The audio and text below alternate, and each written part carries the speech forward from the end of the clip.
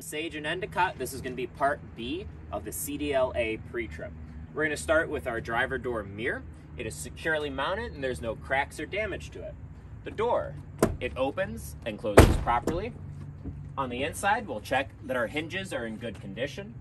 The door seal is in good condition, it's not cut. And we have three grab bars to get ourselves inside the truck. Coming down, we have our side light. It is clean, clear, and unbroken. Our batteries and battery box. They're securely mounted. There's no corrosion on the terminals. All the terminals have tight connections to the cables, and none of the cables have exposed wires. Our steps, they're securely mounted, and they're free of any debris.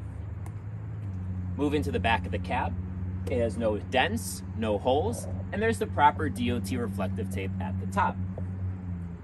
Coming down, we're gonna go to our catwalk next. The catwalk is securely mounted, and there's no debris on it. Working from the farthest side of the truck towards myself, we're gonna inspect underneath. Down here, we have our exhaust. It is securely mounted with no black soot, which would indicate any leaks. Beside it, our drive shaft is securely mounted with serviceable U-joints. There is no cracks, no bends, and there's no debris wrapped around it.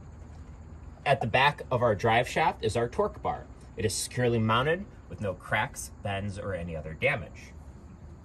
Coming out next, we'll inspect our frame. There is no cracks, no bends, as no illegal welds, no aftermarket holes. Our fuel tank is securely mounted. There's no cracks, no dents, no leaks underneath.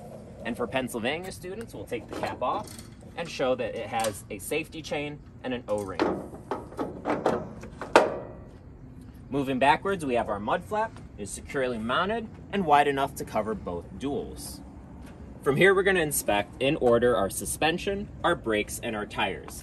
Between the duals is going to be the easiest place to see all of these components. Starting here, we have our shock absorber. It is securely mounted with no cracks and is not leaking. Our airbag is securely mounted with no abrasions, bulges, cuts, and it is not leaking. Our control arm hanger is securely mounted to the frame, has no cracks or any other damage. And secured to it is the control arm. There's no cracks, not shifted, and is secured to the axle with two U-bolts. Looking from the front of the tire to the back, we can start to see the beginnings of our brake system. We have our air hose, which has no abrasions, bulges, cuts, and is not leaking. The ABS wire is attached to it, is securely mounted on both ends, no exposed wires. They lead into our brake chamber, securely mounted with no cracks, no dents, and it is not leaking. From the back of the brake chamber, we have our push rod and slack adjuster. They're securely mounted together, no more than an inch of free play on them when our brakes are released. Looking inside the tire, we would inspect for our brake shoes, that they are securely mounted with no cracks or damage, and they're not worn below a quarter inch thick. Also, we have our brake drums. They're securely mounted, no cracks or any other damage to them, and they are free of any grease, oil, or debris. Working outwards to our tire, we're going to check our bud spacing, that there is no debris wedged within them.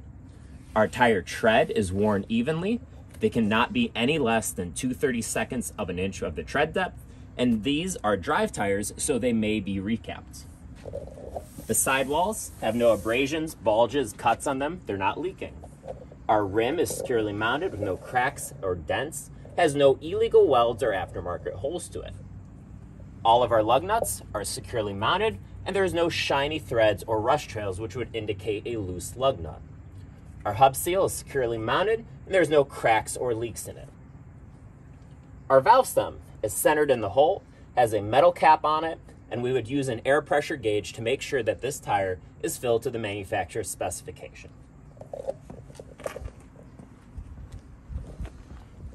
And finishing off the back of the tractor, we have our rear mud flap. It is securely mounted, wide enough to cover both duals, and has the proper DOT tape reflective on it. Our tail lights, reverse light, and license plate light are all clean, clear, and unbroken. From here, we'll inspect the coupling of the truck and trailer.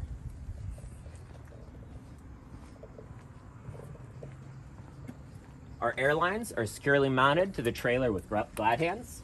They have no abrasions, no bulges, and no cuts. Our electric line is securely mounted. It's a tab locked in place with a tab. There's no cuts, no exposed wires. All of the lines are not dragging on the catwalk and they're not tangled. Our catwalk, again, is securely mounted to the frame, has no debris on it. Coming back to our fifth wheel, we'll start with our trailer apron. The apron is securely mounted, there's no cracks or dents to it. Between the apron and the fifth wheel, there's no daylight, and our fifth wheel is properly greased. Coming down to our release handle. It is in means that the uh, locking jaws are around the kingpin. Coming down to our sliding fifth wheel, it is locked in place, pins are through the holes. And the whole fifth wheel assembly itself is securely mounted to the frame with the correct hardware.